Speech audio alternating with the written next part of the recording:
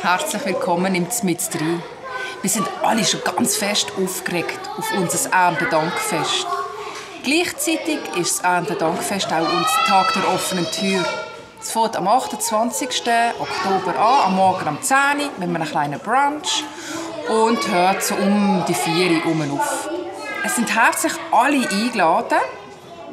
Ob gross oder klein, wir haben für alle etwas. Wir werden ein bisschen basteln.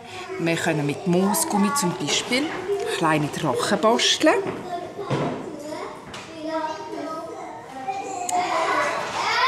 Oder wir haben noch zwei Stühle offen gelassen.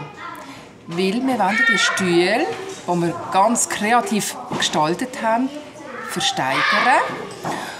Und wenn noch jemand einen Wunsch hat, weil das wird ein Projekt sein, wo wir ein Fünfgang-Menü werden anbieten, ein ganz besonderes, mit einem roten Faden durch alles durch. Und